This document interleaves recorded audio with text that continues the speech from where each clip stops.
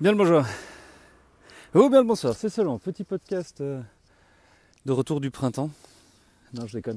Euh, Cowboy Cast donc, euh, le premier qui redémarre euh, cette année. Alors c'est forcément un peu bizarre qu'il fasse aussi beau maintenant, mais voilà. Il paraît qu'il y a des jeunes qui ont décidé de s'attaquer à ce problème-là et d'essayer de résoudre ce que nous, les vieux, et ce qu'encore les plus vieux derrière n'avaient pas réussi à faire.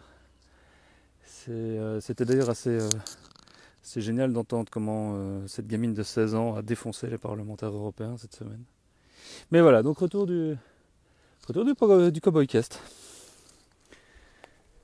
J'ai mis plus de temps à regonfler mes pneus qu'à faire l'update système. Salut Matt. Euh, puisque évidemment à chaque fois qu'on redémarre le, le cowboy, bah, surtout après un certain temps, le, bah, on nous propose de faire une update du système. C'est un truc assez marrant. C'est euh, le petit côté Tesla évidemment de- du cowboy qui permet. euh, Salut Amoré. Qui permet euh, de mettre à jour tout le système. Alors pendant, pendant tout un temps, pour ceux que ça intéresse, on a reçu des messages de cowboy qui disaient qu'on pouvait pas sortir notre vélo. En tout cas que c'était risqué de le sortir. Parce que visiblement le sel sur les routes risquait d'endommager les parties du vélo, ce qu'on peut comprendre. Je sais pas si on entend bien le son. Euh, mais normalement ça devrait aller. Et euh, donc voilà, c'est la première fois que je le ressors depuis, euh, bah, depuis l'hiver, si on peut appeler ça l'hiver. Salut Matt. Salut aussi Vince. Donc voilà, c'est petit podcast enregistré après une semaine de boulot avec les, les étudiants de l'IEX qui ont réussi un petit tour de force imposé évidemment de les envoyer au feu en 4 jours, c'est-à-dire euh, sur base d'une idée, sur base d'un projet sur lequel ils avaient déjà travaillé pendant 4 mois quasiment avec les équipes euh, pédagogiques de l'IEX. Ils, euh, ils sont arrivés chez moi et on a bossé avec eux sur leur campagne de crowdfunding. Non, ça fait ça fait 7 ans hein, qu'on fait du crowdfunding avec des étudiants de l'IEX. Ah, je sais pas ce qu'ils racontent. Oui, on entend bien, super. Moi je vois que dalle. La luminosité est très bizarre parce que le soleil est encore super bas. Euh, oui, c'est une des raisons que je me suis trouvé pour mettre mes lunettes. Euh, mais le fond de l'air est vachement bon. Je disais donc par rapport à, mes étudiants de l'IEX, euh, c'est impressionnant de voir comment en 4 jours, ils ont été capables de, bah, turbiner une campagne de crowdfunding from scratch. Merci d'ailleurs Flora Clonic, qui pour la deuxième année vient me donner un coup de main là-dessus. Elle qui a déjà mené des campagnes à 150 000 balles, 200 000 balles. Et c'est, comme je disais, c'est la septième année qu'on fait du crowdfunding avec les étudiants, mais c'est la première année où je les force à, sortir leur campagne en fin de mastercamp. D'habitude, je leur laisse euh, la possibilité de pouvoir choisir et de faire ça à un autre moment donné quand ça, quand ça leur arrange le mieux. Et là, je m'étais dit que puisqu'ils avaient bien bossé en amont, c'était, c'était l'occasion d'essayer de les, de les challenger encore une fois un peu plus et de les forcer à launcher. Et donc jeudi dernier, il y a six, euh, six campagnes qui se sont lancées. Si vous êtes dans l'Open Newsroom, vous l'avez sans doute euh, vu passer. Hey Salut Pascal Salut de Barcelone, yeah Euh, J'espère qu'il fait beau aussi là-bas. Euh, Il y a donc six projets qui se sont lancés. Ça va dans tous les sens, hein, des trucs sur l'avortement, des trucs sur euh, la Chine, les sociétés matriarcales, des trucs sur le sport aussi, sur les coulisses du sport. Moi, ce que je trouve passionnant, c'est qu'ils ont enfin compris, et c'est ça qui est génial, c'est qu'ils ont enfin compris qu'ils devaient, qu'ils pouvaient créer leur propre euh, référent en ligne en produisant des contenus pendant un an, en étant actifs sur tous les réseaux, en réussissant à hum, tenir tendu le fil de la conversation. Bonjour. Le fil de la conversation avec les internautes, avec euh, leur future audience euh, et surtout une partie des gens qui les payent. Et donc, je, évidemment que j'open sourcerai la méthode, mais une, fois que les trois semaines seront passées, parce qu'évidemment je continue à m'adapter aussi et à adapter le, pro, j'allais dire le protocole, mais c'est presque ça euh, avec eux. Et euh, mais c'est passionnant. J'ai détaillé tout, tout est, tout est dans, tout est évidemment détaillé dans, dans un Notion, mais je, je vous le partagerai en temps voulu. Euh, salut Chloé. C'est entre deux vous que je parle. Euh, je détaillerai tout ça et je le publierai. Pour l'instant, il n'y a que eux qui ont accès parce que voilà, euh, ça fait partie de la méthode que je construis, entre autres avec l'IEX. Mais comment monter une campagne de crowdfunding, comment, comment détailler un projet et faire en sorte euh, de très vite monter en ligne. Monter en ligne avec une proposition de valeur suffisante pour tester un début de quelque chose, un début de storytelling, un début de proposition de valeur. Euh, ça, a bien marché les autres années, mais c'était plus étalé. Cette année-ci, bah, puisqu'on les force à lancer dès, le premier, euh, dès la première semaine, après 4 jours, eh ben, ils sont tous dans leur newsroom à eux, en ligne, et ils commencent à, à interagir, à diffuser leur veille, à prendre soin de la conversation et des gens qui leur font le plaisir de venir s'informer auprès d'eux sur une thématique donnée. Donc c'est vraiment, on parle de vertical là, et s'ils sont malins, s'ils sont bons, s'ils sont forts, je pense qu'ils sont vraiment en train de se créer leur premier job. Ça, c'est un truc dont je suis convaincu depuis jour 1, depuis, depuis, depuis la première fois où j'ai fait du crowdfunding avec des étudiants. Et euh, bonjour.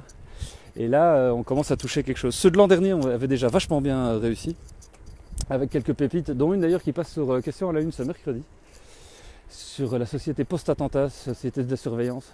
Ils ont réussi à, là pour le coup c'est un, team fantastique, ils ont réussi à faire ça admirablement bien, avec euh, un 26 minutes en télé, bonjour, à 26 minutes en télé, et tout un dispositif en ligne, avec une stratégie réseaux sociaux aux petits oignons. Donc là vraiment chapeau, chapeau à ce groupe-là. Et si vous regardez la RTB ce mercredi, le 26 minutes va être diffusé. J'espère qu'ils ont réussi à vendre l'ensemble du dispositif, de trouver un partenaire, en l'occurrence la RTB qui, euh, qui, a accepté de jouer le jeu. Je sais pas, je, leur poserai la question parce qu'ils viendront lundi. Euh... Voter à mon. que con, Matt. euh, bonjour Emmanuel Lefebvre. Le, le, truc qui est vraiment bien avec ces dispositifs-là, c'est que évidemment, moi je m'amuse à les, améliorer et à les hacker en permanence. Enfin, en tout cas, à chaque fois que j'ai l'occasion. Euh, on revient de Lausanne avec euh, Monsieur Joris Van Den Doren, qui m'a accompagné pendant ces, les, cinq jours où on est allé travailler avec les web éditeurs de la RTS. Si vous avez écouté le podcast précédent, bah, on vous en a parlé. Et euh, on a pu faire le pitch. Donc c'est-à-dire qu'il y a eu cinq projets qui ont été pitchés devant les gens de la RTS. Avec je pense une bonne chance que ça puisse terminer dans le pipeline des projets en cours.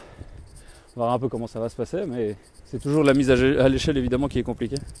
Et la mise en prod à partir du moment où c'est pas prévu dans la roadmap, bah ça pose mille questions pour des boîtes qui n'ont pas forcément l'habitude d'une agilité euh, comme celle-là. Voilà. Mais donc euh, c'était euh, là aussi c'était un très très chouette moment. Merci d'ailleurs à Marc-Henri Jobin de nouveau pour sa confiance on aura sans doute l'occasion d'en reparler parce que je vais revenir à Genève plus que probablement à la fin du mois, fin du mois d'avril avec Pilote Média. On aura évidemment l'occasion de vous en reparler à ce moment-là. Je, je, reviendrai faire un crochet par Genève le 8 mars. Là aussi, j'aurai l'occasion de vous en reparler un petit peu plus. On va voir un peu comment tout ça va, se goupiller parce que j'ai encore deux semaines avec les étudiants de l'IEX. On va mettre et eh, c'est pas un endroit où on peut venir avec une bagnole ici, monsieur. Ah ouais. Bah non. Bah, vous pouvez euh, regarder les panneaux, c'est tout. Euh, bref, bonjour Euh, ah, salut Arnaud, salut Pascal. bonjour Tom. ouais, donc là c'est une belle séquence, vraiment je trouve parce que les 4 jours passent d'une traite, c'est d'une intensité assez folle.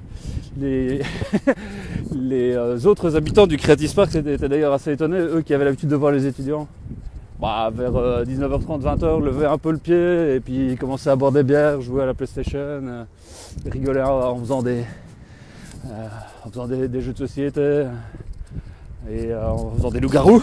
Là, pour le coup, ils sont au taquet, ils bossent comme des, comme dingues parce que forcément 4 jours, bah, c'est court pour lancer une campagne de crowdfunding. Mais ils y sont arrivés et les lives, si vous avez l'occasion d'aller jeter un oeil, je les ai publiés sur, dans l'Open Newsroom, ceux qui y sont, et puis sinon, elles sont toutes sur la page du lab, vous pouvez aller les revoir.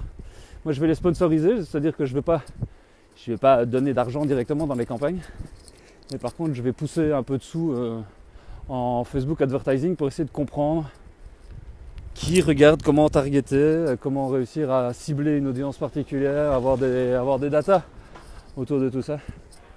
Et, euh, voilà, c'est euh, mes, mes, deux cents à voir un peu plus puisque je mets chaque fois 20 balles. Mais non, voilà, de nouveau, c'est dans le même état d'esprit. Si eux sont successful, euh, bah moi je le serai par euh, contagion, on va dire ça comme ça. Et donc c'est des, c'est vraiment des, ouais, c'est des bons moments parce que c'est ça que je fais euh, depuis le plus longtemps en fait. C'est avec eux, c'est avec les, les journalistes de l'IEX, enfin les futurs journalistes de l'IEX. Bonjour. Et euh, bonjour.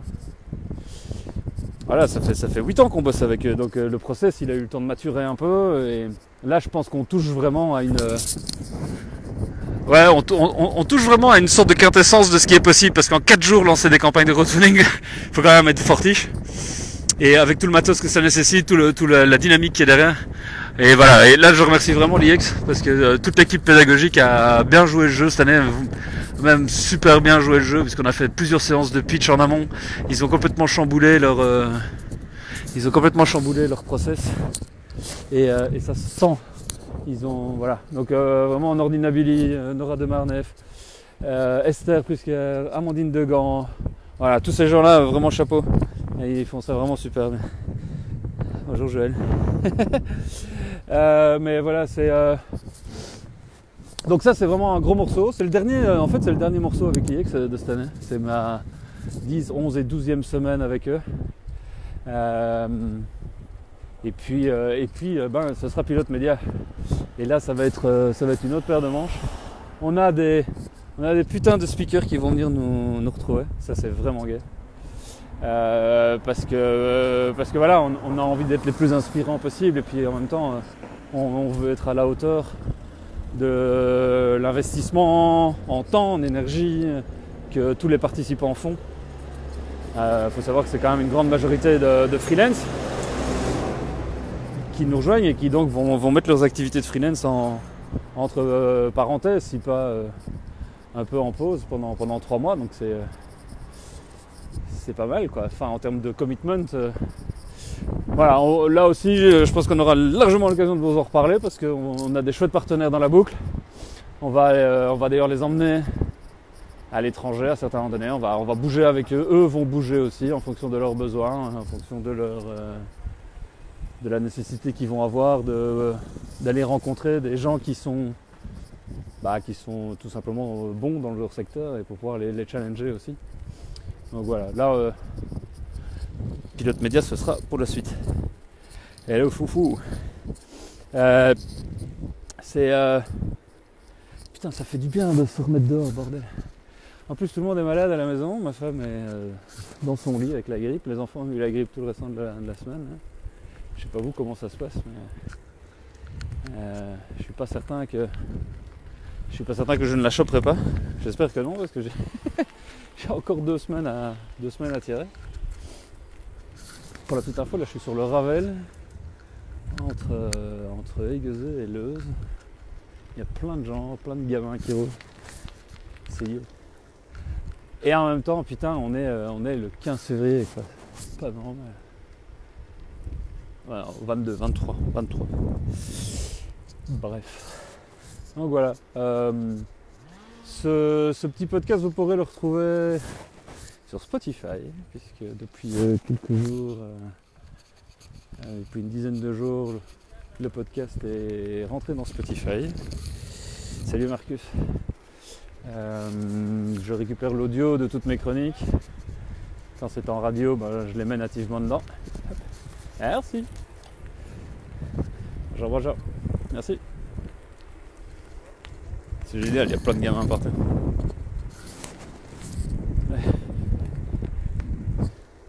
Et euh, oui, je disais, j'ai- passé mon podcast sur Anchor, ce qui permet d'être distribué sur quasiment 10 plateformes de, de podcast. Je posais d'ailleurs la question dans l'Open Newsroom ce matin de savoir si, euh, s'il n'y avait pas moyen de faire des playlists de podcasts, pouvoir faire de la curation de podcasts. Manifestement, c'est pas encore le cas. Spotify avait mis en place une feature comme celle-là, mais il l'a abandonnée après, donc euh, je ne sais pas si, s'ils vont la remettre en route. Bonjour. Parce que ce serait quand même vachement utile. Salut Marcus. Ouais, il fait magnifique. Euh, alors venir jusqu'à Bertinchamp maintenant, ça va faire un peu long ça. hein ça, va, ça va- ça va faire un peu long je pense. Je suis pas certain d'avoir assez de batterie pour pouvoir euh, monter jusque, jusque Jean Blou. Mais, mais n'empêche que ça se teste un jour ça, franchement ouais, Euh, très volontiers. Vous faites une action spéciale, un de ces quatre, pour le, pour le printemps, il y a des moments où on pourrait venir un, bah, samedi comme ça, à vélo. Mais retourner à vélo bourré, ça va être moyen quand même. Enfin, tu vas me dire, on n'est pas obligé de se bourrer la gueule. Mais... Euh, donc oui, oui, euh, Marcus, très volontiers pour venir faire un tour un jour à Bertinchamp, euh, en vélo. Se faire un cowboy cast euh, à Bertinchamp. Ah, ça pourrait le faire, tiens, ça, ça, ça pourrait être marrant. Ouais, bah ouais, ouais, à fond. On se fait un cowboy cast, euh, cowboy cast Bertinchamp euh, au printemps. Ça va Envoie-moi envoie-moi, euh, envoie-moi le programme si vous avez ordonné des, des moments de dégustation ou des, des trucs de découverte de vos bières ou des trucs de ce genre-là. Je viendrai, euh, je viendrai en cowboy et on se fera un cowboy cast ensemble. Ça va Et là, pour le coup, j'espère que Cowboy va sponsoriser. Simon Laval, si tu m'entends.